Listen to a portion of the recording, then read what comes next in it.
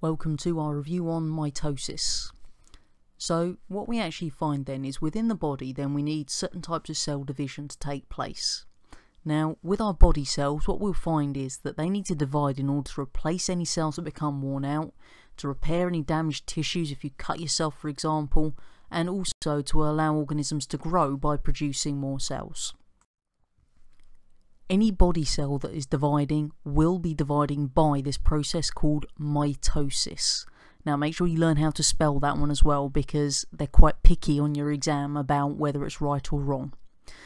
Now what we then find is as a result of mitosis then every cell that undergoes that process produces two genetically identical daughter cells and these cells are what's called diploid.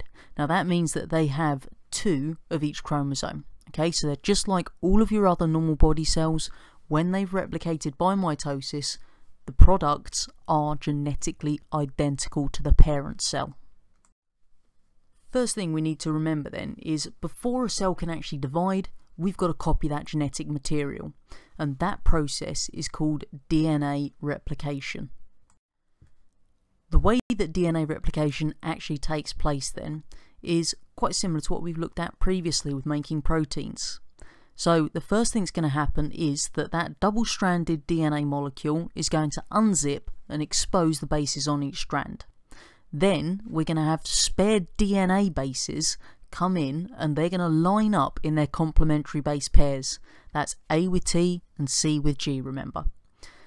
As soon as that's happened all the way along, those two strands of DNA that we started with, then what we've actually got are two exact copies of our parent strand. So that gives us our replicated DNA. The next thing that happens then is that those chromosomes are going to line up along what's called the equator or the middle of the cell.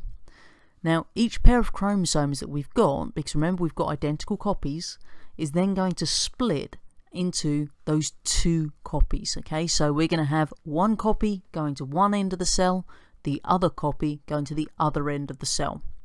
Once that's taken place, we get a new nuclei forming around each of those sets of chromosomes, and then the rest of the cell divides, and what we end up with then are two identical copies of the original cell. So the diagram at the bottom there just shows you what's happening each stage, starting off with our original cell, the DNA is replicated by the DNA unzipping, the bases coming in, having complementary base pairing. Then the chromosomes line up along the equator of the cell. The copies are pulled to opposite ends or poles of the cell. Then the new nucleus forms and the rest of the cell divides to make two identical copies. Now you should have heard about this process of asexual reproduction further down the school. Now, asexual reproduction itself uses mitosis to make new individuals, so we only need one parent for asexual reproduction to take place.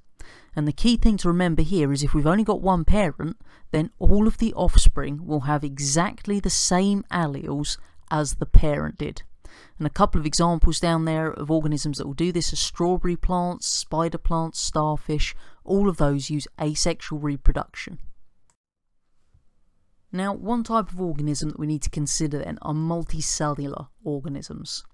So, being multicellular actually has a few important points about it. First of all, any multicellular organism can be much larger than single-celled ones. They've also got different types of cell that carry out different jobs, and therefore they can be more complex as an organism than the single-celled ones. One downside though is that for these multicellular organisms to actually work, then they're going to need these specialized organ systems. So what we find is any of these large multicellular organisms will have specialized organ systems to carry out certain functions within them. So we've got things like the nervous and endocrine system, which is all to do with communication for us. The circulatory system is going to supply our cells with the nutrients. Our respiratory and digestive systems will be controlling the exchanges with the environment. Each one of them has their own part to play to actually allow that multicellular organism to get to the size it has. The Last thing we need to consider then is mitosis occurring in mature organisms. So if we think about animals first of all, when an animal is mature, it's no longer growing. So we're just going to use mitosis there to repair any damaged tissues. However, if we think about plants, then a mature plant is still going to continue to grow. So we're going to be using mitosis not only to repair damaged tissues, but also to allow it to grow in two specific areas of the plant. Firstly is the root tips, and secondly the shoot tips.